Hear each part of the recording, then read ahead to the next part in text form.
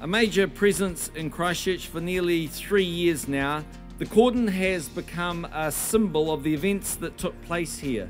From today, as the city centre reopens, the future of Christchurch will be clearer. A couple of friends from our Defence Forces came in and said, What can we do to help? We said, Well, you know, we're going to need a lot of manpower. There was the Navy in Lyttelton Harbour. They set up stations to help and to feed. Here in the city, young men and women from the Defence Forces were deployed around the cordons. And then the Air Force stepped in, shifting supplies, flying out tourists, getting them out of the city. And we often thought as citizens, as we looked at you standing on the cordons on a freezing winter's night, what a tough job that is.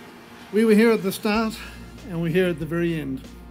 The weight of that burden and the proof of that is on the shoulders of these men and women who stand in front of you here today.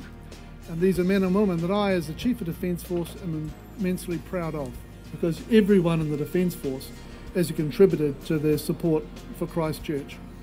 Most people think of the Defence Force as only doing things overseas. This earthquake and our support to has shown that this is New Zealand's Defence Force and is here when New Zealand needs it. It's been an extraordinary relationship, and we're sad to see you go. So thank you for what you've done.